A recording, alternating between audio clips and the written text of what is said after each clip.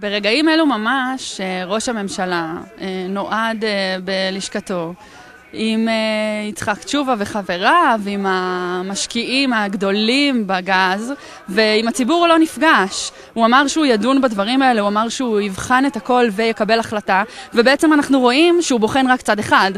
אנחנו באנו כדי להשמיע את הקול של מדינת ישראל, של האנשים שאכפת להם שהכסף ילך לרווחה, לבריאות, לחינוך.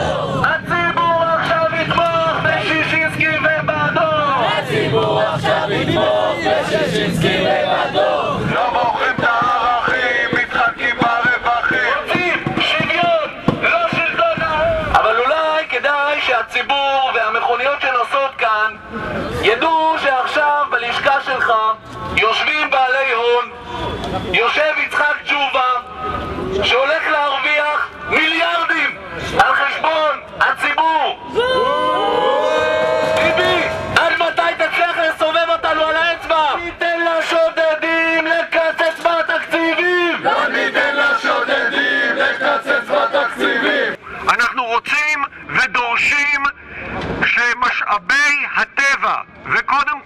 שנמצא בחופינו ישמשו לתועלת הציבור הישראלי בואו נקבל את ההחלטה האמיתית בואו נקבל את ההחלטה הצודקת בואו נקבל את ההחלטה הראויה אנחנו נאבקים על הדמוקרטיה אנחנו נאבקים בשאלה מי קובע פה בסופו של דבר ומי מחליט האם הציבור הישראלי יחליט? האם הציבור הישראלי יקבע?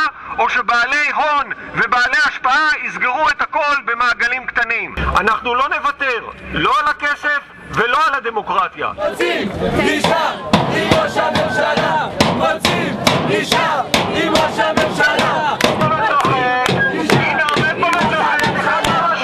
מאבק של אנשים בעד דמוקרטיה ומאבק של אנשים נגד דמוקרטיה. וצריך להבין את זה.